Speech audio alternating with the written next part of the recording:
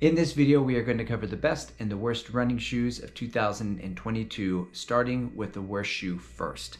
But before we do that, some disclosures. I am not sponsored by the Hyatt Place.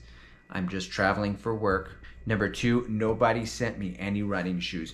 No one ever sends me running shoes. Nobody likes me. Nobody cares what I think about running shoes. And I try not to take that personal. I'm just a jaguarsp. I'm just a guy with a running shoe problem.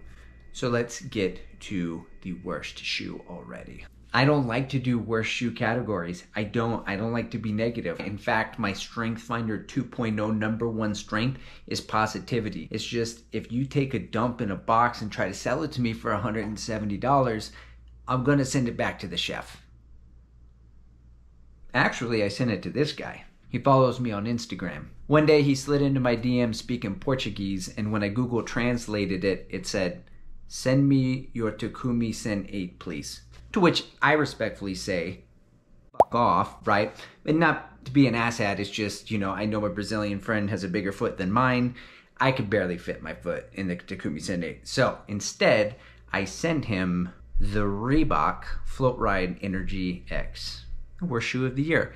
It's the worst shoe for three reasons. One, there is absolutely nothing special about this shoe. Nothing. Okay, this is like a it's like a Pegasus. It's like uh, one of the Mario brothers. It's namely Mario. It's like eating mashed potatoes but without butter. This shoe drives the speed limit. There's nothing special. It's not snappy, not responsive, it's not cushion, it's not lightweight. It's somehow more average than Reebok's average running shoe, the Floatride Energy. It's five foot nine. It bats seventh in the lineup. It is a men's US size nine. It is certainly not a nine and a half or an eight and a half because this shoe does not come in half sizes. In the year of our Lord 2022, a running shoe company has released a shoe without half sizes.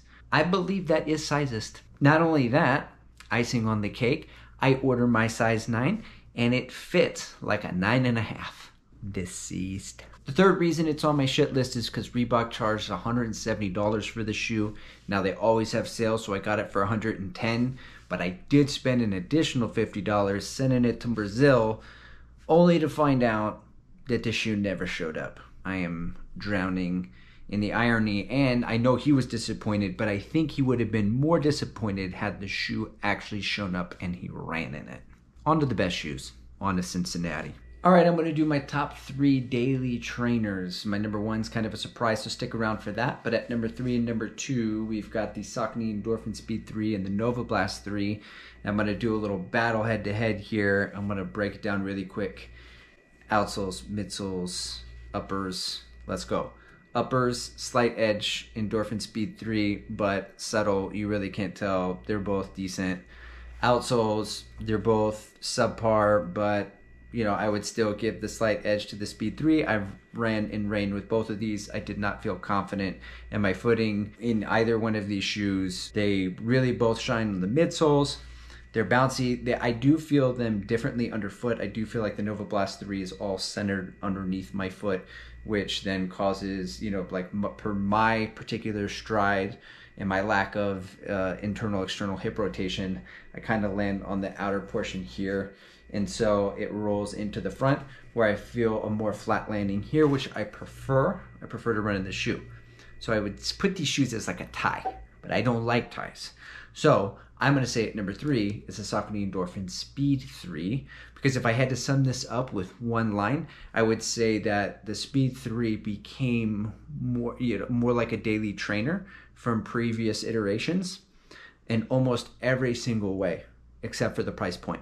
170 bucks. So most daily trainers range from you know, 120 to 140, and that's where the Novablast 3 sits. And so I would choose this over this. So I'm putting this as number three, and this is number two. And for my number one daily trainer of the year, the New Balance SC Trainer. Okay, Linda, listen to me. Linda, listen. I understand that this is probably not going to be on a lot of people's daily trainer category. They might be on their max cushion category or easy day shoe. And I get that. I understand people just want to use it for that. But for me, what this shoe feels like when I run in it is like the Nike Invincible meets the Novablast One. It's got all that bounce of the Invincible, and this uh, de- uh, the energy arc reminds me of the decoupled groove of the Novablast One, and I really feel it propelling me forward. So like when I run in it, it's hard for me to run easy. When I land on the midfoot, I feel myself going into kind of a steezy run.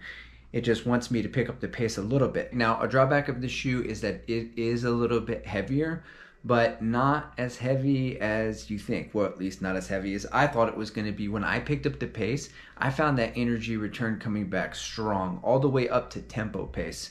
And when I say that, like 20 minute tempo or 30 minute tempo, towards the end it got really challenging. So I'm not going to run a 15K in here, not just because I don't really run 15Ks, but I wouldn't run a 15K in this shoe, but you can there. The pace that this shoe shines is the marathon pace just locks in, energy return, is pushing me forward. It's like running the miles for me. It reminds me of the Alphafly. In fact, I would use this shoe as the Alphafly training companion. They just both work in the same sort of use case. They feel about the same. The upper, even, I don't know if it's because my Alphafly was, you know, a mango color as well, but it's just like all one piece. I know it's different materials but they just remind me. So what the tempo next percent was, the training companion, I feel like this what this is for me. Now the only pace that I would not take this shoe in is 5k and 10k paces because if I'm gonna take a shoe out for that, it would be my shoe of the year, the Takumi Sen 8. I'm not going to do a full review here because I've already done one with a 400 meter challenge and I'll put it right here, I'll put it right here, the description below. I'll figure it out later. It's the best shoe. Please let me know what your top three shoes are in the comments below and support your fellow runners with the like and the sub and all that stuff. I appreciate you watching from uh, the Hyatt. If you are going to be staying somewhere, just kidding. This is not a paid promotion. I'm done.